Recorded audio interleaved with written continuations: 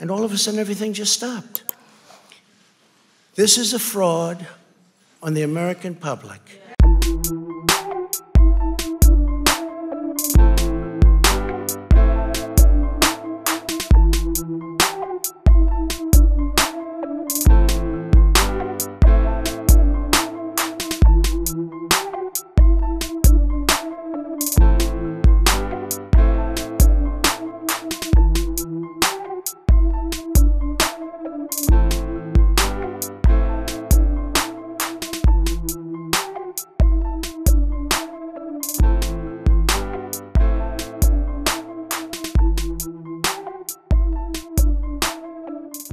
Florida was a tremendous victory 377,000. Texas, as we said.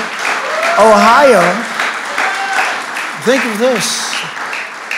Ohio, a tremendous state, a big state. I love Ohio. We won by 8.1%, 461,000. Think of it. Almost 500,000 votes. North Carolina, big victory with North Carolina.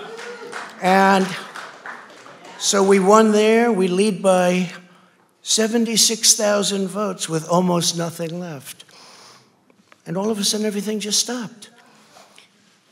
This is a fraud on the American public. This is an embarrassment to our country. We were getting ready to win this election. Frankly, we did win this election. We did win this election.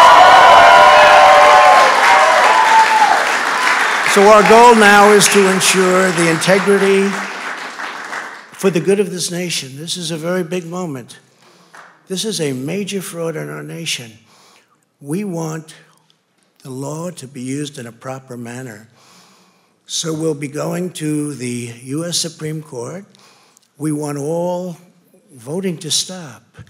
We don't want them to find any ballots at four o'clock in the morning and add them to the list. Okay?